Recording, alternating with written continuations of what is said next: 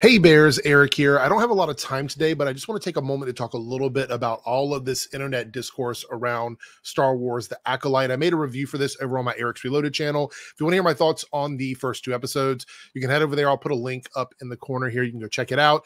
Uh, I actually really enjoyed it. I think it's a breath of fresh air, but I talk in more detail on that in my review. So head over there and please check that out. Let's take a look at some of the discourse going on online right now uh, in regards to the series. I'm seeing a lot of really interesting, you know, typical chuddy takes on anything related to Star Wars. It really has become this uh, campaign, like this this circle of this group of people on social media and on YouTube that are really just out to make Star Wars look bad at all cost. That really is the goal at this point. There's no other uh, answer for what they're doing other than just trying to make Star Wars look bad at any given moment. Now, here's a thumbnail for a video made by Nerdrotic. I haven't watched the video, but the thumbnail jumped up on my timeline, and I thought, oh, what is the joke with this thumbnail? The word lame, obviously done in the typical Nerdrotic way to grab attention for people to click on the video. But then you have Amandla here uh, with obvious Photoshop done to her face, which uh, again is typical nerdrotic. And then the joke is there are white people wearing a black woman's hair. That's the joke. That's the entire joke. And then, of course, they throw Harvey Weinstein in next to uh, Leslye because they keep trying to push this idea that because she worked with Harvey, that somehow she's the only person in Hollywood ever that has ever worked with somebody that is in the industry since the 70s. The the for metaphorically speaking, the blood on the hands of Hollywood because of Harvey Weinstein goes far beyond Leslye, but this is their they keep using this. It's their gotcha against her specifically because she worked with Harvey, as did a ton of people. It's a pretty big deal. Uh, but the, the joke here is that there are white people wearing a black woman's hair. And um, yeah, I guess we're supposed to laugh at that. And while we're talking about Nerdrotic, we might as well talk about this one. This isn't just a complaint that he's talked about. I've seen other people discussing this as well about a fire in space. As if Star Wars, over the years, even as far back as the original trilogy, um, as if they didn't have fire present in space battles. So this is what we talk when we use good faith, bad faith arguments and good faith, bad faith criticism. Um, if you're giving any kind of criticism that could be used constructively. There's no such thing as good or bad faith criticism in that regard. But when you are looking at something like this, this is like quintessentially what bad faith is. It's nerdrotic completely dismissing that fire has occurred in other versions of Star Wars specifically to try and make the acolyte look bad. And the reason why that's bad faith is it's misleading, number one. And number two, what are we supposed to learn from that as viewers? What are they supposed to learn from uh, from that as creators? If it's already been done and it's already something that's been in canon in Star Wars for years, what are they supposed to learn from that? The only thing that we can see here is that he is he is holding this show to a different standard than all of the stuff that he usually props up and says is, is uh, amazing and perfect. And just to reiterate this, this is the shot from the OG trilogy of an explosion, fire stuff happening in space. This isn't the only one. I just wanted to throw one in there to show you guys what I'm talking about. Again, this is like if I were talking about good faith and bad faith, this would be what a bad faith criticism would be because there's no there's nothing that you can learn from it uh, at all to make the product better. So it's essentially a misrepresentation um, in a way to make your argument valid. And and it just isn't because this has happened uh, in other Star Wars properties before. Here's everyone's least favorite film reviewer, the critical drinker, who says something quite interesting here. And I retweeted this with my thoughts, but I'm going to say it here in case you're not following me on Twitter. Um, I think I despise every single thing about Star Wars now. That means there's no gray area on that statement. Despising every single thing about Star Wars now, which means no longer a fan. You are no longer a fan of it. You have stated that you despise everything about Star Wars. Like, there's nothing even remotely worthwhile about the franchise anymore. It's anti entertainment. Now, I could argue against this if I wanted, but ultimately, if someone decides they don't like something anymore and they don't think it's good, I feel like it's totally valid for them to be like, I don't like this anymore. I don't think it's good And then the next step to that would be I'm not going to support it. I'm not going to watch it. I'm not going to talk about it. My uh, retweet of this, I said, there's no no one is forcing you to watch something that you don't want to watch. There's no actual um uh, you know rule or law that says that you have to watch Star Wars if you despise every single thing about it. You can simply disconnect from that kind of entertainment when it comes to movies, TV shows, um, streaming stuff. You, you don't have to watch those things unless, and there's a little asterisk on that, unless you find it imperative for you to talk about it because there is a monetary value in doing what you're doing. There is an incentive for him to make sure that everyone knows how much he hates and they hate Star Wars. Critical Drinker and Nerdrotic, two of the largest uh, creators in the Chud space, right? Uh, in this GriftTube space. They are no longer fans of this stuff. I would say they haven't been fans for a while now, but they continue to act like they are. You can totally be a fan of the older stuff and be like, I love the old stuff. I want to talk about the old stuff. But if you keep engaging with stuff that you don't like, there has to be another reason why. You, you either really do like it and you're lying to everybody, which could be the case. I'm not going to say I believe that. It could be the case. Or you're doing it because there's a financial reason for it and um, it allows you to you know stay at the top of these search results and stuff on YouTube. Um, so yeah, that's that's the only reason you would continue to beat yourself up over something you don't like. Here's another one that I retweeted and commented on, but I want to talk a little bit more about it here in this video. Is from Joel Berry, somebody who always has bad takes. The Acolyte is a queer Marxist vandalization of the myth of Star Wars. And the Acolyte, the Force, is a metaphor for cultural hegemonic power. The Jedi are a metaphor for cisgender white oppressors who hoard that power for themselves. Yes, it really is that obnoxious and stupid. And I've come to realize that the reason why some of these folks have an issue with this is we are getting stuff from famous IPs, shows, movies from famous IPs that don't revolve around white guys. But there is a threat to that for a lot of these folks. They are arguing for representation. That's what they're doing. They are arguing for representation. The same thing that they complain that like gay people in my community, you know, black people, women, whatever it might be, when they say they want representation, they keep getting pushback from white guys who are threatened that they are no longer the center of the universe of entertainment. And so there's this weird situation where their immediate defense of that is to sort of make it seem like everything a diverse group does, a marginalized group does, is insidious. It's evil. It's somehow oppressive. It is trying to erase white people. And this is what they do. They put this out into the world. That is what this tweet is.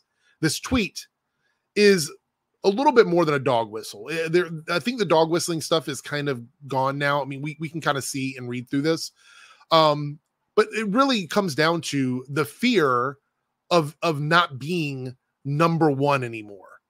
It's the fear of not being king of the hill. It's the fear that these brands are no longer going to pander to you.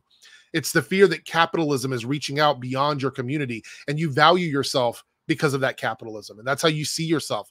And and so i do believe that that's what this kind of reaction is. It is just this idea that you're going to be finally in in a game where you have to actually play at your highest level and they don't want that. They want that privilege that came along with being like you know straight white men straight white cisgender men.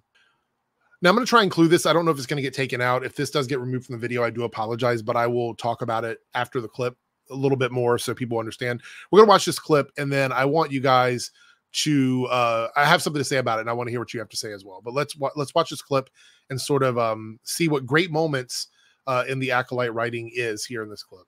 Do you think that? No. Mae is dead. I saw her die. A few moments later. Mae is alive. I believe you. Do you All right, so the idea of the bad writing there is that Sol, the Jedi Master, says that he saw Mae die and he thinks she is dead. And that is for dramatic effect. It is to let us know that he is not being completely forthcoming about everything. It's quite possible he knows something that he's not telling people. It's quite possible there's another story going on that we're not sure. It's part of the mystery. And when he reaches out to Osha and she says what she says to him, what that's supposed to convey to us as viewers is that her emotional state and the reverence that he has for Osha makes him change his mind because she knows that he thinks that Mae is dead. She thinks Mae is dead. They all believe that Mae is dead. So it isn't like she all of a sudden was she was withholding information from him that she's known all these years. She's like, oh, by the way, I, I've always known she was alive, and I'm just finally telling you. No, she believed that Mae was dead as well. So what we're supposed to learn there is that because Osha believes this and she tells Sol this, he then believes it as well. It's to show how much he respects, trusts, and loves this character. That was what they were trying to convey.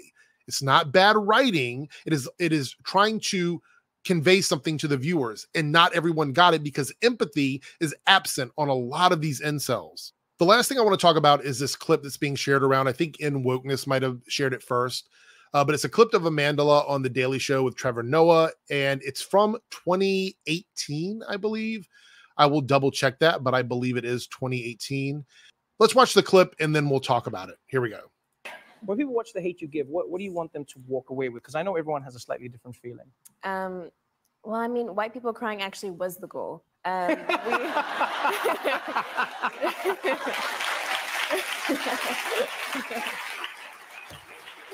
it was the goal. But this is another one of those bad faith situations because that interview, that clip that we're seeing, which is already truncated, there's a much longer clip out there that gives more context. But outside of that, it is a small clip from an interview from 2018 where she's talking about the hate you give, which was a project that explores the themes of racism, police brutality.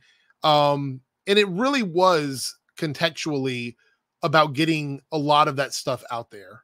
Her speaking about those things, you know, talking about the stuff that was occurring in that particular film, which was about some heavy, heavy commentary. Now, you could argue about that film, you could argue about things that happened that the film touched on. Like all of those are fine. But to take this clip, which is already on a show like like the Daily Show, which doesn't take culture and politics so seriously, it is sort of tongue in cheek. So this is in tone for what this show is, which is another again bad faith moment by sharing this clip. But to take this out of context and try to apply it to the current Star Wars project that Amandla is working on is absolutely insane to me. It is insane. But that's all these people have. All they have is to go back to old stuff, pull stuff out of context. They did it with Rachel Zegler. Now they're doing it with Amandla. They did it with Sharmeen by Obaid They did it with her as well. And it's something egregious about looking back at these things that these projects that have deeper meanings like the hate you give and saying oh now look at this. This applies to star wars right now. This is applies it applies to star wars right this second. No it doesn't. It does not. And the simple fact is that when we have these kinds of things that touch on uh, racism, or in the case of Sharmeen, we're talking about acid attacks and stuff like that. When we have these kinds of things happening, it is extremely petty to go back and try to use that against people involved with making something like Star Wars, as if there haven't been movies and films and TV shows made by people who did dramatic, true story type films that dealt with heavy subject matter, and then they were voice voicing animation or doing some family friendly film later on. You don't hold that same microscope or that magnifying glass up to people that do that when they're not women or people of color or gay people. That same scrutiny is not applied. And what exactly would this criticism lead to to Amandla or anybody on Star Wars? Absolutely nothing. Hence, bad faith. I don't want to keep you folks too much longer, but I do want to talk about this clip very briefly before I wrap this up. So there's a clip going around from the wrap where we have um, Amandla and Leslye talking about the show. Obviously, having fun with the interview. It's not very serious where she jokes about R2D2 being canonically a lesbian, which is clearly a joke in the interview. But all of these people that want to make racist jokes, misogynistic jokes, homophobic jokes, when they do that, their immediate defense is, oh, It's just a joke, bro. You're taking it too seriously. You're triggered. You're soy. You're a snowflake. But then when you have two people attached to this property here making some jokes in an interview, all of a sudden they're being 100% serious. And all of these people get triggered by it.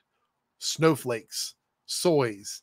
This is as getting triggered by an interview where two women are joking about Star Wars. And he did the same thing when he was on stream with Eric July talking about this. Literally, it's so stupid. The Acolyte has already, I think it's the best premiere numbers wise on Disney Plus all year so far. Um, it seems like it's well received by critics outside of the review bombing that's been happening, that was happening hours before the episodes even went live. It's just like if you, and I'll say this again if you have to review bomb something, then you are admitting that you are wrong about it. If you have to go out and proactively astroturf and review bomb something, then that doesn't mean it's objectively bad. It means you lost, and that is your cope behavior. Your cope behavior is to review bomb something because you know there's a possibility that people might like it. And that kind of manipulation is 100% cope. Uh, just be aware of all this stuff. All these people are idiots. And, you know, there are some valid criticisms, just like with anything, movies or TV shows, but they're completely drowned out by this histrionic behavior from so many people in this space, particularly the big players. Uh, there's some stuff with Star Wars theory I didn't even talk about in here because I just don't want to keep you guys forever. Anyway, um, that's pretty much it. I'm out. If you enjoy this video and you want to get more content like this, make sure you join the revolution, be part of the revolution, and subscribe to my channel. Leave a like down below and leave a comment. Let me know your thoughts on all of this. And I will see everyone in the next video. Take care.